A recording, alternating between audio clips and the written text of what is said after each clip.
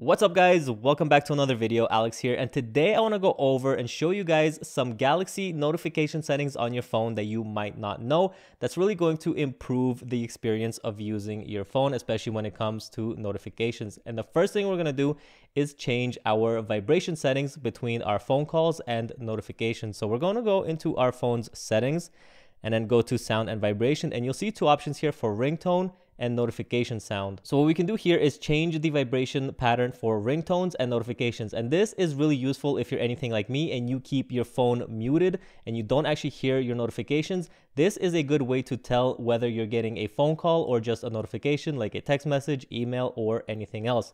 So the first thing you want to do is tap into ringtone and then make sure you enable vibrate while ringing, then tap into here, and then you'll have this entire list of all the different vibration patterns. I like the telephone one, so I selected that, but go ahead and pick whichever one you like. And then up here, you can also change the vibration intensity. But next, what we're gonna do is go back and then go to our notification sounds and do the exact same thing. You're gonna tap on vibration pattern here and then go through this list and select whichever vibration pattern you like for your notifications. And then again, also you can change the vibration intensity in here. So go ahead and do that. Again, this is really useful if you keep your phone muted and you don't actually hear your um, ringtones. This is a good way to be able to tell whether you're getting a phone call or just a notification. And then next what we're gonna do is change another setting that goes really well with this one if you keep your phone muted like I do. What you wanna do is go back into your settings, then scroll down to accessibility, then go to, oops, go to advanced settings. And then here you'll see an option for flash notification. This will flash your camera's flash on and off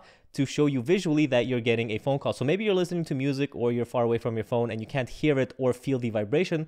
You'll be able to see it because your flash will be turning on and off and you'll know you're getting a phone call or a notification. All right, guys, the next thing we're to do is go back into our phone settings. This time we're going to go to our notification settings. We're going to go to advanced settings.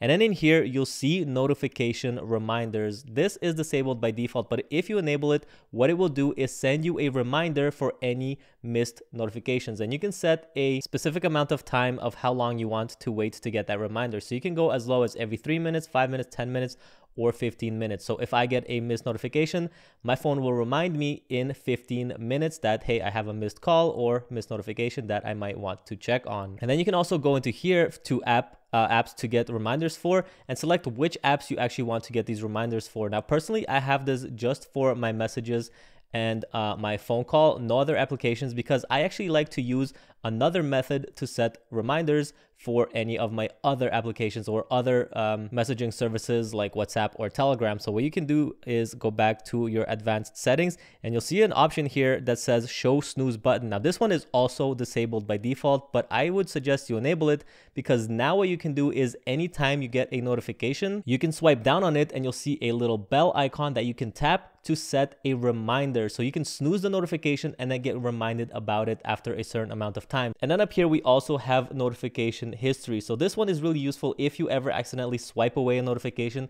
and you didn't get to catch what that notification was, what it said, or who it came from. Notification history is the only way that you can go back and check on those missed notifications. All right, next we're gonna go back into our advanced settings under notifications and we're gonna go to this floating notification section here and you have a choice between bubbles and smart pop-up view. And I really like this because I keep this in bubbles and what this will do is let's say I am browsing the net or I'm on social media or doing something important and somebody sends me a text message, I can open up that text message in a bubble view and it will open up as a layer on top of what I was doing. So I don't need to leave whatever application I was working on. My text message will just open up in bubble view on top of whatever I was working on.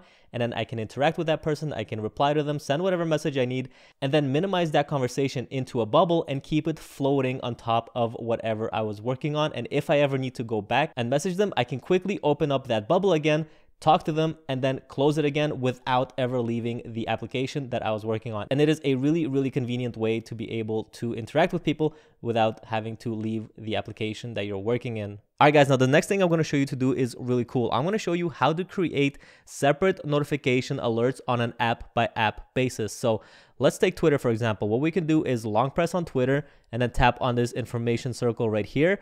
And then in here, you'll see notifications. You want to tap on that. Then go down to notification categories. And in here, you'll see all of the different categories of alerts that you can get from Twitter. So let's say you want to set a certain uh, notification pattern or sound for direct messages. So if you get a direct message in Twitter, what you can do is tap into here, then you can change the sound or the vibration. So we'll go to sound first. And let's say you want, you know, to set this uh, Aurora sound. So now every time you get a DM in Twitter, it will play this specific sound and you'll know right away by just this audio cue that this was a DM from Twitter. You can also do this in other apps. So let's take uh, WhatsApp, for example. We're gonna long press that, tap on the information circle right there. Again, we're gonna go to notifications. We're gonna go to notification categories and then in here, let's say we want to set a unique sound for message notification. So anytime we get a message from WhatsApp, we can go to sound and then set a specific uh, sound for WhatsApp messages. So let's pick this comic one.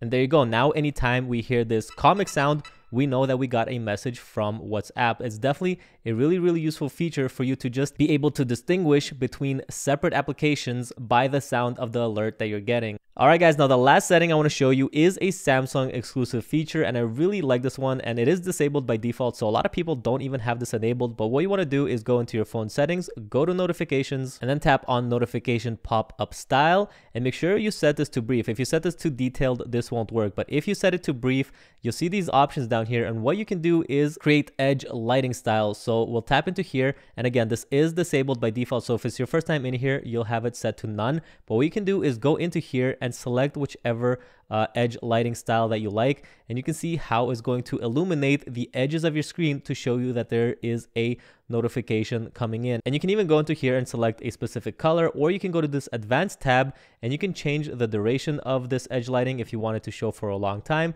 And you can change even the width of it. So if you really like these thick lines, or if you want it to be a little bit more subtle, you can make it smaller, or you can even change the transparency of it. So go ahead and play with this. And what's amazing about this and what makes this really powerful is if we tap done, you can go to the section called color by keyword and you can see that I have a few filters here. And what this will do is give me a different edge lighting color depending on where I'm getting the notification from. So you can see if I get a message from Telegram, my edge lighting will be blue to match the color of Telegram. If I get a message from WhatsApp, my edge lighting will be green to match the color of WhatsApp. And what's amazing about this is you can even set this on a contact level. So you can see I have certain contacts in here like Lana, anytime I get a message from her, no matter if it's on Telegram, messages, WhatsApp, or anywhere, it will be a purple edge lighting. And then I got a few other contacts in here. So it's really, really powerful just to give you that visual cue of exactly what kind of notification you're getting and where it's coming from. And to set this up, it's really simple. Just go into this